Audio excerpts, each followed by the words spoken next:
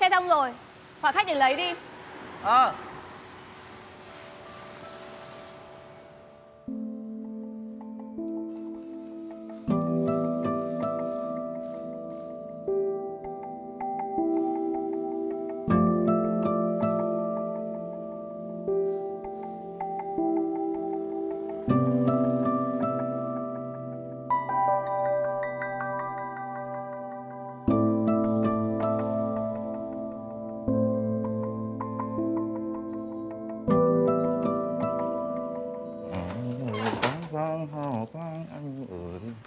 Anh đi cho em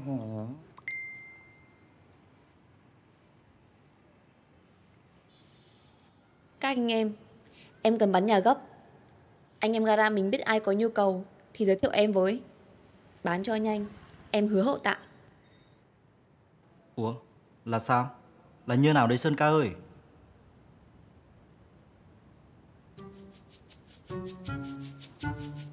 Mày giấu riêng cái gì đấy? Không gì sắt ạ Em bán nhà trả nợ thôi Cho đỡ gánh nặng Các anh cố gắng tìm mối ngon cho em Khách nào càng trả giá cao Thì tức là các anh càng thương yêu em Gọi môi giới đi cho nhanh Họ có kỹ thuật làm giá đấy Nhắn gì mà dài thế? anh đọc trộm tin nhắn của em à mất quan điểm đấy nhở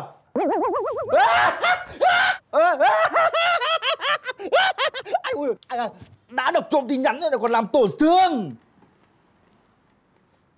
để tiền đi.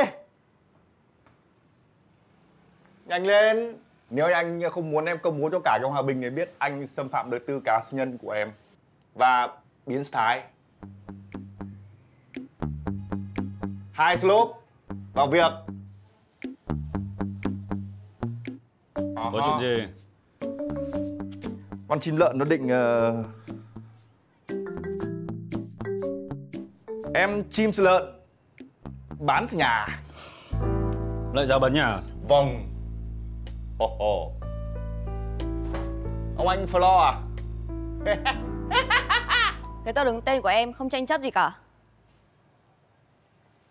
Em đợi người ta đặt cọc đủ tiền nhà Sẽ ra ngân hàng để rút sổ về.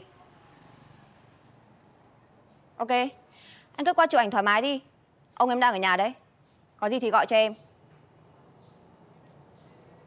Ok anh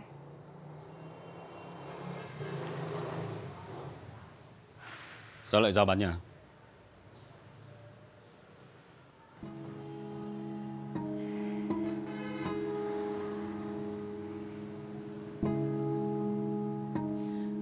Bố em được tiền đặt cọc của người ta.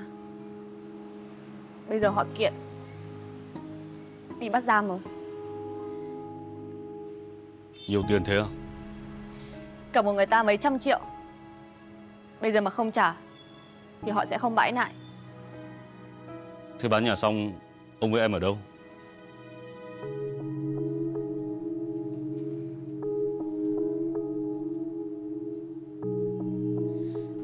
Em tính sẽ đi thuê trọ.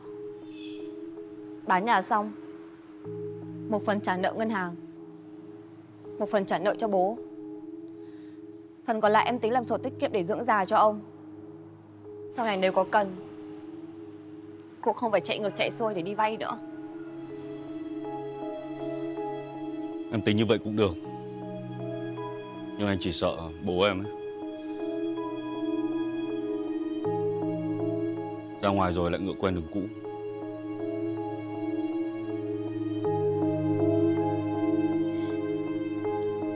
Thì kệ thôi.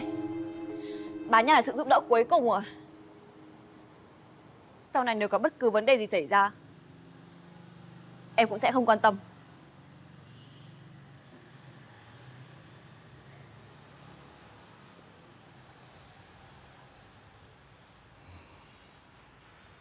Thôi Nhà có việc thì cứ nghỉ đi. Không cần đâu. Em vẫn đi làm bình thường được. Anh bảo nghỉ thì cứ nghỉ đi. Tâm trạng như thế Làm sao mà làm việc được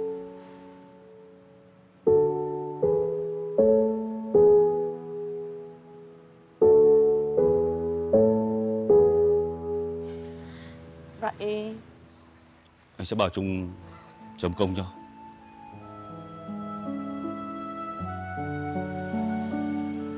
Em xin nghỉ ngày hôm nay. Cảm ơn anh. Em về đây.